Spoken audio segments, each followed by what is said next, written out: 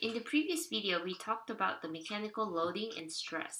In this video, we will talk about how mechanical stress relates to deformation of the tissue.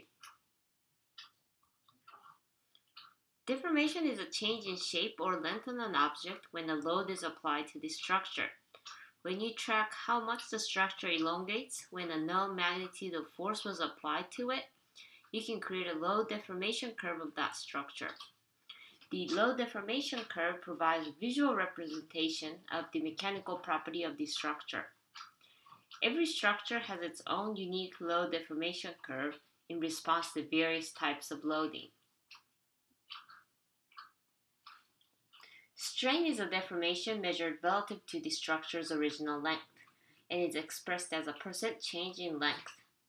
For example, when you stretch a 50 millimeter long tissue by 3 millimeter, the amount of deformation is 3 millimeter and the strain is 6%. Looking at strain instead of deformation is important because 3 millimeter of strain can be small or large depending on the original size of the structure. If the object's original length was 500 millimeters, the 3 millimeter deforma deformation is equivalent to 0.6% strain, a very small increase relative to its original length. As mentioned earlier, load deformation curve illustrates the relationship between load and deformation. The curve tells us how the structure, for example, specific bones, tendons, and ligaments behave when the force is applied to it. However, looking at this load deformation curve is not suitable when comparing the strength of ligaments or tendons of different size. This is because stress that develops within the structure and the strain will be affected by the size and cross-sectional area of the structure. As we said before, the stress that develops will be greater if the area over which the force was applied was smaller. Also, the strain of the structure will be greater if the structure's original length was smaller. That is why when we want to compare the strength of the material or the tissue that is making up the structure, Instead of looking at the load deformation curve, we look at stress strain curve, a figure that shows the relationship between stress that develops within the tissue and the strain. This is how the generic stress strain curve of the connective tissue looks like. The stress strain curve consists of elastic and plastic regions.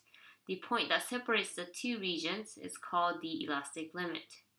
When the stress lower than the elastic limit or stress in the elastic region develops in the tissue, the tissue will go through lengthening while the stress is pleasant, but then will return to its original length once the stress is removed. On the other hand, when the stress above the elastic limit or stress in the plastic region is applied to the tissue, the stress will result in permanent changing length uh, which indicates some level of partial damage to the tissue and cannot completely return to its original length. The slope of the curve in the elastic region represents stiffness of the tissue. Tissues that are stiff will not lengthen much even under high stress, while, stress, uh, while tissues that are compliant will lengthen a lot even under low stress. Therefore, looking at the slope of the elastic region of the curve can tell us about the stiffness of the tissue. The stress at the highest point on the stress strain curve is called the ultimate stress. It is the maximum stress that the tissue can take before it starts to fail. Therefore, you can say that the tissue with taller stress strain curve is stronger compared to the tissue with a shorter uh, or uh, shorter uh, stress strain curve. The point where stress strain curve ends is called failure point. This is where the tissue completely fails after it started to fail when it reached the ultimate stress. Please note that once the tissue starts to fail, it takes less stress to cause a complete failure. When you look at the stress strain curve, you will see the gray area under the curve.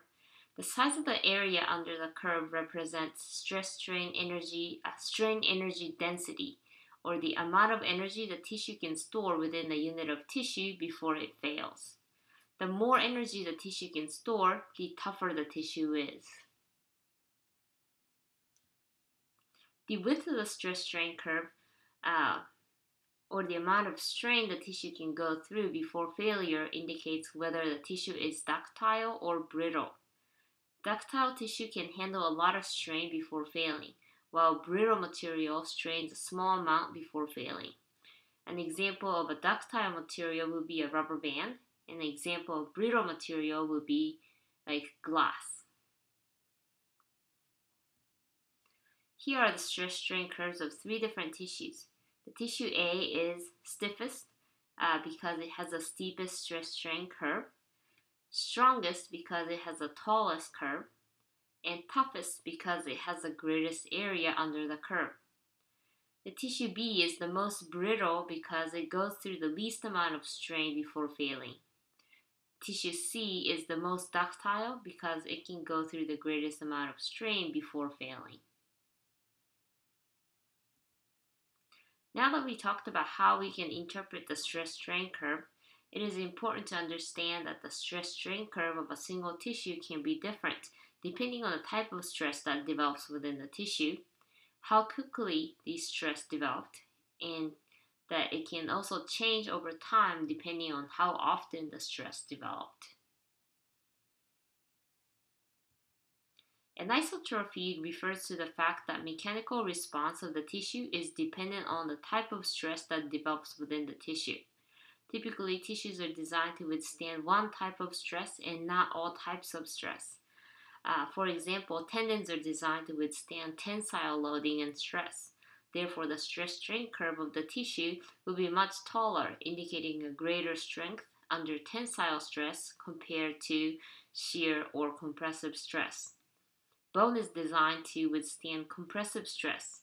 It is strongest under compressive stress, but is weaker under tensile or shear stress.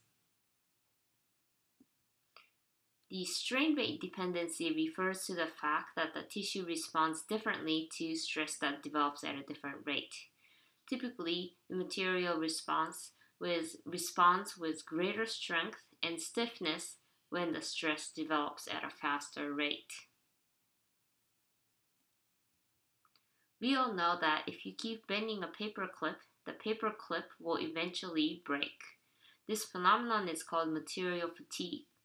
This fatigue uh, occurs when the biological tissues are subjected to repeated loads above a certain threshold. When the stress develops over and over, the material's ability to withstand applied load decreases and can fail under a level of stress that is much lower than the original ultimate strength or ultimate stress.